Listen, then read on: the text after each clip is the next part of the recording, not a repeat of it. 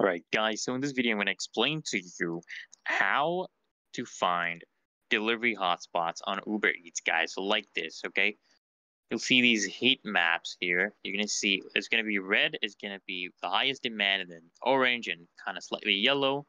So those are the places with the highest demand during a peak time usually guys. So I'm going to explain to you how you can do that exactly guys. So how do you find a hotspot? Basically, you look for the icons and colors right here guys and on the heat map and warmer areas are where you expect greater demand. So you wanna these icons like help you to locate you know restaurants or areas and stores with the highest demand in the neighborhood. Okay, certain times, you know peak times usually they're usually labeled by name and a business, guys. And you know, for example, the cafes, the bars, because there's grocery stores, there's retail shops. Okay, and there's also dots that indicate other businesses that are nearby, guys. You can tap any red dot to navigate there, okay?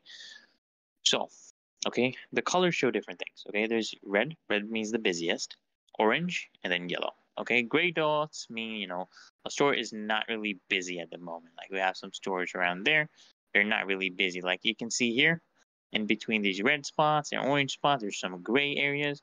Those are not busy. So, for example, if it's a dinner only restaurant in the morning, it's not going to be busy, of course, okay? So how long would you expect to wait? You know, it depends on the city, time, restaurant, store.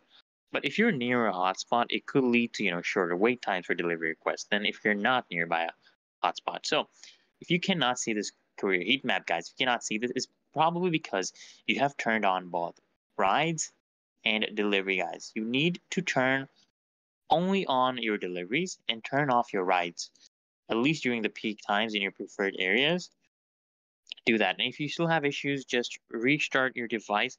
Many people, once they restart their device, things work out for them and they're able to see the heat map. They still have issues, then you can reach out to support through the app, guys. Okay, so that's literally that simple, guys. So if this video helps, make sure you like, comment, and of course, guys, make sure to subscribe.